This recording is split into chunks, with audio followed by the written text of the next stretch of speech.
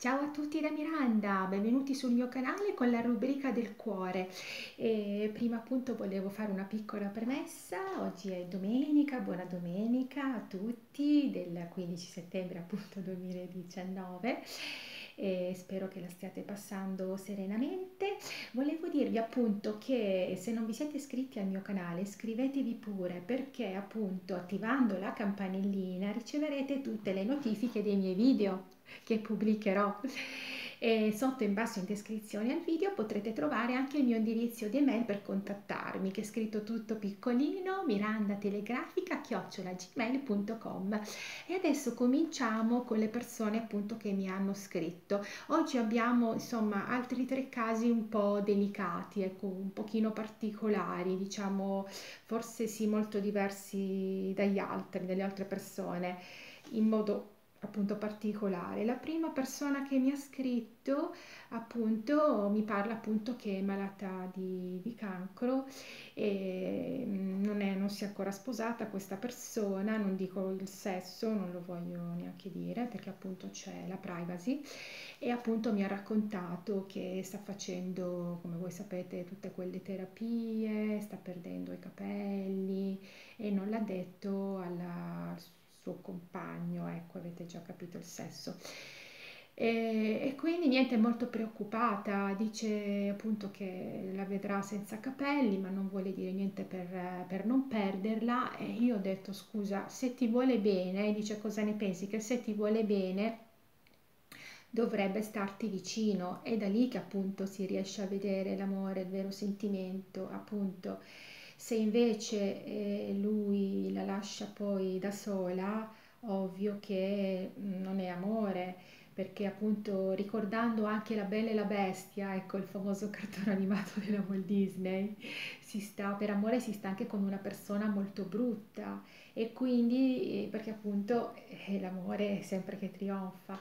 E quindi lo stesso vale per la malattia, bisogna restare sempre vicino alle nostre persone care anzi potrebbe anche essere di aiuto perché magari questa malattia che tu hai eh, magari non è neanche maligna come tu pensi, è un tumore benigno, ecco, quindi potrebbe anche aiutarti ad uscire da questa depressione, diciamo malattia, per stare poi anche meglio.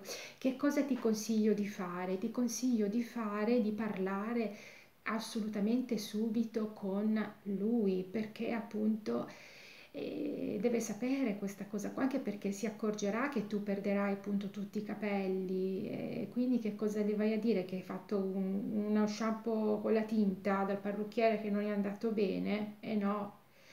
E quindi devi cercare appunto di chiarire questa cosa qua. E poi magari lui ti potrebbe anche indirizzare non so un altro medico perché tu non sai ancora di preciso se è un tumore maligno o benigno quindi potresti benissimo uscire fuori perché appunto tu che sei malata non puoi aiutarti da sola, è sempre meglio avere qualcuno vicino, un supporto anche psicologico che aiuta, che fa stare bene, perché tutto parte dalla testa. Se noi stiamo bene di testa con noi stessi, allora riusciamo meglio anche a fare le cose, a non lasciarci prendere dall'ansia e tutto il resto. Quindi ti consiglio di fare questa cosa qua. Mi dispiace molto, ti faccio tanti auguri di buona guarigione e fammi sapere, spero che tu guarisca, che esca da questo brutto tunnel che quando si entra appunto sembra non uscirne più, posso appunto immaginare. Adesso vediamo appunto la seconda persona che è innamorato dell'amica della sua fidanzata. E questo è un bel guaio, un po' un pasticcio. Lui racconta appunto che tutte le volte che escono in gruppo con gli amici e lui non capisce più niente, ovviamente la sua fidanzata lo guarda e dice ma che cosa ti succede? Oh niente, ho dimenticato il portafogli e, e mi sono dimenticato forse, non so, il gas aperto a casa per poi correre a casa e mandare messaggi all'amica. E l'amica dice scusa ma io non posso appunto stare con te se tu stai con la mia amica, non puoi stare con due piedi in una scarpa e non sarebbe neanche giusto lasciare là puntini puntini, la sua amica appunto.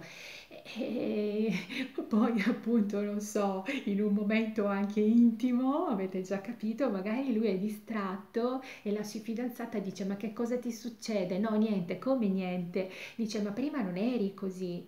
E che cosa ne penso? E ne penso che tu, appunto, io penso che eh, da questo pasticcio dovresti parlare con l'amica prima per capire appunto eh, se, se, prova qualcosa per te, cioè se, ovvio che non siete sposati, non c'è nessun legame, se sei più innamorato dell'altra, dell'amica e anche l'amica è innamorata di te, e, magari potresti ecco, fare un tentativo di uscire, magari non so, per un caffè, per, non, non, per la sera, ecco, per una cena, una cosa piccola, magari in un bar lontano dalla zona dalla quale abiti, per non fare appunto vedere, magari potrebbe incontrarti la sua tua fidanzata e riuscire a capire che cosa provi per lei, dovresti appunto avere questo sentore e lei che cosa prova per te? Parlare, insomma, parlare insieme perché il linguaggio è molto importante, il dialogo, ecco, scusate. E quindi dopodiché, dopo che eh, avrete chiarito appunto questa cosa, riuscire a capire anche con la tua ragazza che cosa provi. Quindi o non stai con nessuna delle due, perché non puoi giocare con la tua fidanzata se non sei innamorato, oppure riuscire a capire con l'amica appunto per poi parlare con la tua fidanzata, mi dispiace dirlo, e, nel caso dire appunto mi dispiace mi sono innamorato di un'altra persona però prima devi riuscire a capire te quello che vuoi cosa vuoi dalla vita. Infatti devi ascoltare te stesso il cuore. E magari non so in un posto io consiglio sempre di isolarsi non so nella propria camera in, una, in un posto che, dove tu stai bene con te stesso. Solo lì riesci a capire quello che tu desideri e che senti per quella persona, perché non si sta insieme per così, per piacere, insomma, per divertimento, per fare poi stare male anche l'altra persona, perché più tempo passa, più poi eh, il legame si, si, rafforza, migliora e quindi poi dopo tan- tanto tempo ci può essere anche della sofferenza da parte di uno dei due. Dunque, adesso l'altra persona, la terza, perché anche oggi tratteremo tre casi, facciamo tre casi alla volta, magari qualche volta potrà capitare anche il quarto, il quinto. Il terzo caso, appunto, mi dice che questa persona sta con il suo compagno solo perché si sente da sola eh, non esiste. Non esiste perché appunto non si sta con una persona per non sentirsi da soli. Allora tutti facciamo qualcosa così prendiamo in giro le persone, non so, per non sentirci da soli. Eh no, eh, non, c'è una cosa che, che non fa bene, non fa bene perché poi ti sforzi talmente di fare quella cosa che non va bene, cioè potrebbe andare tutto storto, magari fai stare male l'altra persona eh, non esiste proprio. Quindi appunto questa persona mi racconta, mi raccontava, mi ha scritto che eh, lei, per esempio, non so, cucina, fa le cose che le piace fare per poi non avere nessuna soddisfazione dall'altra persona. È ovvio perché se fai le cose per forza, che soddisfazione puoi avere? Solo perché magari hai voglia di cucinare qualcosa, hai voglia di mangiare qualcosa, dici la mangiamo insieme, usciamo così andiamo al cinema per condividere qualcosa, ma poi non stai insieme bene con quella persona. Perché? Perché per non sentirti sola ti sforzi per stare con quella persona. E poi raccontava appunto che l'ha portato dai suoi genitori prima lei, ma diciamo che vabbè non esiste molto questa cosa. Secondo me deve essere prima l'uomo appunto a presentare la famiglia e sì, quando poi appunto sei sicura e allora ovvio lo porti dai tuoi. Cioè, secondo me io la penso così, sarò magari un po' all'antica, magari non so, puoi parlare dei tuoi, potevi parlare dei tuoi genitori, dire non so, mia mamma, mio papà sono così, ma eh, l'iniziativa eh, deve essere appunto da parte dell'uomo, secondo me. Ecco, altrimenti quello capisce male, potrebbe anche eh, prendere in giro appunto una donna, ecco parlo in generale, ormai tu l'hai portato a casa e lui non ti ha ancora portato dei suoi genitori, quindi dovresti riuscire a capire questa cosa qua. Se tu l'hai portato dai tuoi e lui non, non ti porta, non so, non, dalla sua cerchia di amici, non, non, ti fa conoscere nessuna persona, le sue conoscenti e neanche i genitori, e non uscite insieme, e scusa che il legame è, ci sta insieme perché ti senti da sola. E oltretutto spendi soldi, immagino e vai di testa. E quindi che cosa ti consiglio di fare?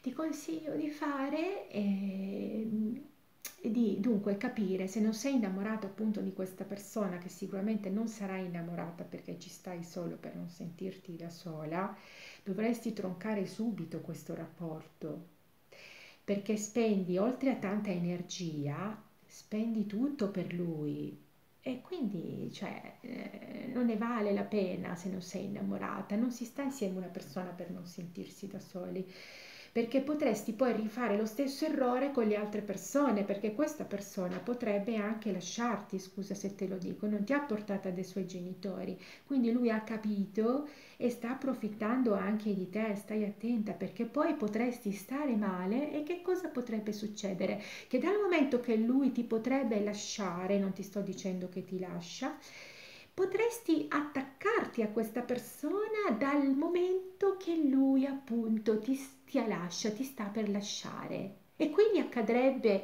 l'opposto, poi tu ti sentiresti davvero ancora più sola e ti potresti innamorare proprio in quel momento, quando lui ti starebbe per lasciare.